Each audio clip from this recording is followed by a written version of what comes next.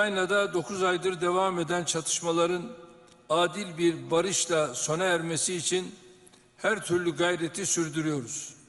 Bunu yaparken gıda krizinin önüne geçmek için de gerekli müdahalelerde bulunuyoruz. Güney Kafkasya'daki barış süreci Can Azerbaycan'ın tüm girişimlerine rağmen halen kırılganlığını koruyor.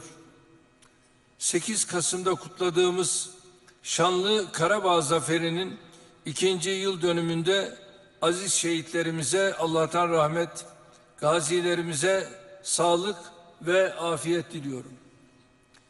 İlham kardeşimizin şahsında Azerbaycan halkını tekrar tebrik ediyorum.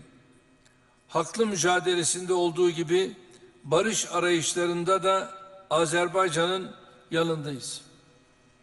Türkiye olarak PKK, PYD, YPG, FETÖ, DAEŞ ve El-Kaide dahil eli kanlı terör örgütleriyle mücadelemizi sürdürüyoruz.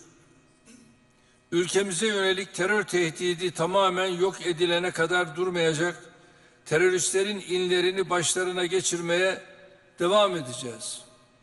Bir cinayet ve casusluk şebekesi olan FETÖ ile mücadelemizde siz kardeşlerimizin desteğine güveniyoruz.